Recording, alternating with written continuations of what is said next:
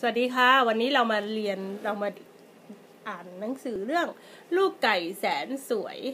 ลูกไก่แสนสวยนี่เราได้มาจากของไทยเนี่ยเป็นภาษาไทยเนาะมีไก่สวย มีแม่ไก่ มีลูกไก่ มีไข่หลายฟองมากเลยเนาะเรามาดูเนื้อหาข้างในกันเป็นยังไง เอาละเริ่มแล้ว ก็เป็นเรื่องราวในบ้าน ชาวนาคนหนึ่งแม่ไก่ตัวหนึ่ง ฟักไข่อยู่ในเล้าไข่ทั้งหมดมีสิบฟองสิบฟอง แล้วเกิดอะไรขึ้นต่อมาดุนต่อไปเลย เกิดอะไรขึ้น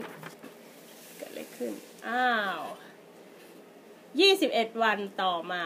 ลูกไก่ตัวแรกก็เจาะเปลือกไข่ลืมตาออกมา ชม Look who โลก knitting. โอ้โห ลูกของแม่สวยน่ารักมาก แม่จะเรียกลูกว่า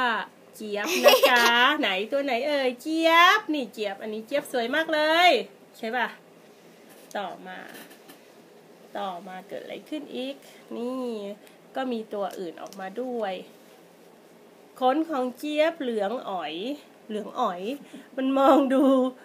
รอบๆตัวเห็นน้องๆกำลังเจาะเปลือกไข่ออกมาทีละตัวสองตัว นี่เห็นไหมนี่กำลังเจาะปั๊บปั๊บปั๊บปั๊บปั๊บปั๊บเดี๋ยวดูช่วงต่อไปเกิดอะไรขึ้นต่อ